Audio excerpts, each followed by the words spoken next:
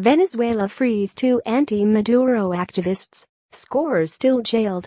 Caracas, Venezuela, Reuters. Venezuelan authorities overnight freed two activists who were in jail for more than a year after being accused of plotting against socialist President Nicolas Maduro, the opposition said on Saturday. Delson Guarate, who had been a mayor in central Aragua state, and former student leader Yon Goicoechea were among nearly 400 jailed anti-Maduro activists who rights campaigners say are political prisoners, but whom the government calls coup plotters. I'm with my family today, tweeted Goicoechea, displaying a photo of himself against the backdrop of Caracas Avila Mountain. Tomorrow I'll address the country. God is with us. I'm free. Guarate tweeted. The pair's freedom, with some unspecified conditions attached, was confirmed by opposition parties and a rights group, but the government had no comment. The releases came as Maduro called for one of the most prominent opposition leaders, Congress head Julio Borges, to face treason charges for lobbying against his government in global financial circles.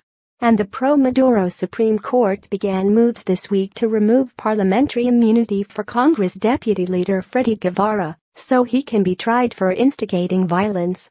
Guevara runs the militant Popular Will Party, which both Goicoechea and Guarate belong to.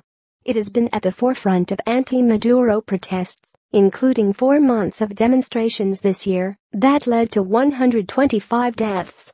Critics say Maduro has turned the OPEC nation into a dictatorship.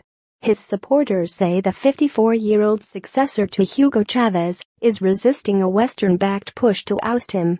In a New York Times column earlier this year, Goicoechea described how a dozen policemen put a black cloth over his head when they arrested him before taking him to a cell without natural light or ventilation. When I stretched my arms, I could touch two opposite walls he wrote in the column smuggled out of prison. The door was blocked with black garbage bags, leaving the room in total darkness. There was rotten, worm-infested food on the floor alongside scraps of clothing covered in feces. It felt as if I had been buried alive. Senior officials said Goicoechea was an imperialist agent caught with explosives in his possession, while Guarate had been financing terrorism. Neither was tried.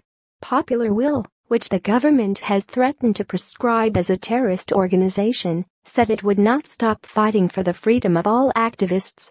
The dictatorship's justice is a revolving door, said party legislator Juan Mejia. Some leave, while others come in at its discretion and to its benefit. Reporting by Andrew Cawthorn and Deisy Buitrago. Editing by Lisa Von Ahn.